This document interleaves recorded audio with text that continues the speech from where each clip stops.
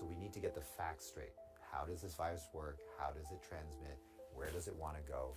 And let's protect ourselves. I'm Dr. Peter Lin. I'm a family physician in Toronto, Canada.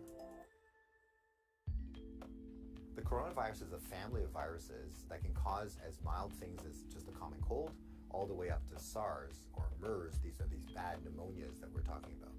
And basically, what these viruses are, they look like a tennis ball with all these spikes sticking out of it. And depending on the type of spike, it allows that virus to attach to certain places.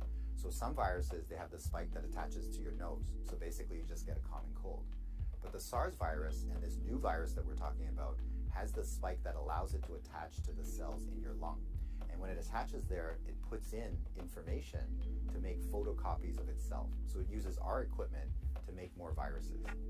I'm declaring a public health emergency of international concern over the global outbreak of novel coronavirus.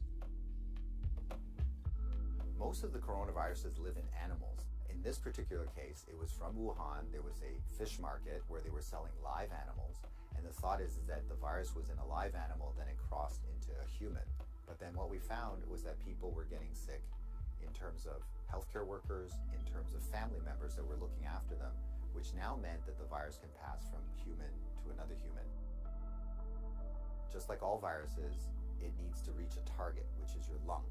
And it has to get there with your help. It has no feet and no wings. So therefore it needs us to move it there.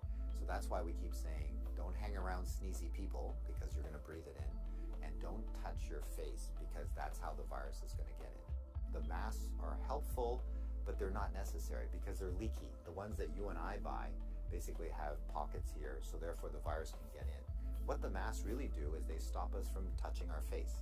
If you're sick, we tend to mask you, so therefore you're not spewing out the viruses to other people sitting around you. The true people that have the real masks are the N95. Those are sealed. These are for the doctors that may be caring uh, for the patients. So in the beginning, the coronavirus will cause kind of like flu-like symptoms or a cold. So people just get the stuffy nose, that kind of thing. But you'll understand that as soon as that virus starts manufacturing in your lung cells, they're producing all these copies of the virus, all of a sudden now you kill the lung cells. So now you can't exchange oxygen. And that's why one of the early symptoms is people get very short of breath and they tend to have a difficult time breathing. And that's why they end up in hospital. So currently, unfortunately, we don't have a direct treatment for the coronavirus. So we don't have a medication that can kill it off. And so it's really supportive. So in other words, the patient can't breathe, we give them oxygen, help them to breathe. They can't drink, so therefore we give them fluids to support them. Their kidneys begin to shut down, we help them with all those things. So it's a very supportive process. This is a new virus that we've never seen before. So our immune system, our army, are having a hard time figuring out what to do. So usually what we have to do is we make something called antibodies. So these are things that can grab onto the spikes that we see on the virus and it will get rid of the virus for you and that will actually bring you back to good health. So therefore the elderly may have a worse outcome. And of course the young children. So the babies, their immune system is not so good either, so they may not make those antibodies as well. So just remember your hands may be with virus. Virus cannot hurt you because it can't get through the skin.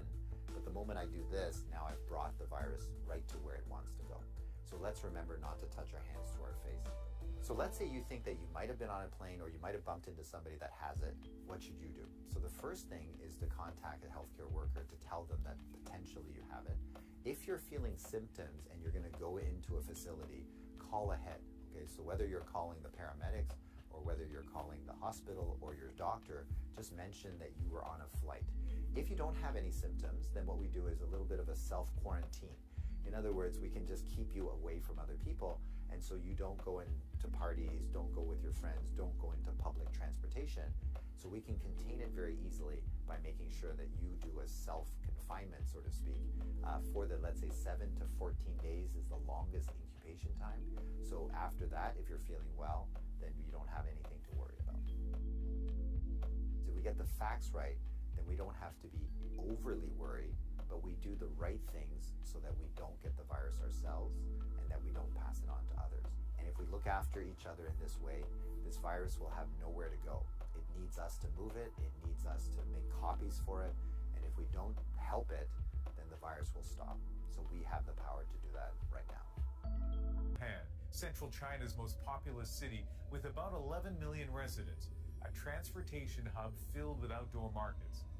In mid December, some shop owners in one of those markets came down with fevers, fatigue, dry coughs. A 61 year old man checked into hospital when his cough got worse. By the end of December, doctors were concerned they were dealing with a SARS like virus. That market was shut down on New Year's Day. And a week later, authorities confirmed the first known death from this outbreak. A coronavirus usually circulates among animals, most often bats and snakes. Their droppings can contaminate fruits and vegetables eaten by livestock.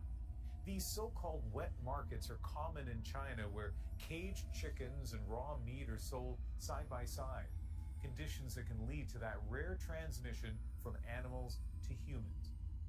The virus is new, it's mutating quickly. Scientists don't yet have a name for it. Hospital staff simply charting it up as 2019 COV. The coronavirus has spread to parts of Asia, and now there are confirmed cases in France and the United States. We'll go to some questions. So far, no reported cases in Canada, though health officials say several people are under observation. With the shutdown of Wuhan and the cancellation of Lunar New Year celebrations, the Chinese government is now watching to see if this outbreak can be contained. This is one of the largest and most advanced infectious disease research centers in the world. So we normally wear, or we always wear in our labs, two sets of gloves. Darryl Falzarano is the lead investigator in the search for a vaccine. This is a containment level 3 lab at VIDO-InterVac where we would work on viruses like novel, uh, the novel coronavirus from China. Scientists are making their own synthetic version of the novel coronavirus in order to begin research. But having a case in Canada may improve our access to getting virus, which is a lot faster than reconstructing it ourselves. Correct, or, or even recently, this lab developed a vaccine for a coronavirus that killed 10 million pigs in North America. And scientists also worked on a potential vaccine for SARS. So SARS came, spread globally, and then went away very quickly, and there was never another case. So far, it looks like a SARS vaccine would not protect against this novel coronavirus. Um, we don't know that for sure yet, but that's that's sort of the general feeling at the moment. But information from that research will be useful. All of the air, all of the water, all of the waste has to be treated before it leaves the building. This sophisticated lab costs $18 million a year for its research. In order to actually manufacture vaccines, it would need more money. Because we don't have capacity in the country, or not as much as we used to have. So when these situations like this one arise, um, we have to go to other countries to get our technologies manufactured in those countries. So it's really a bottleneck right now for public research like ours. The goal for now is to create a vaccine prototype within six to eight weeks, then test it on animals. So everyone can work as hard as they can and as fast as they can, but things, certain processes take a certain amount of time. Human trials are at least a year away. Bonnie Allen, CBC News, Saskatoon.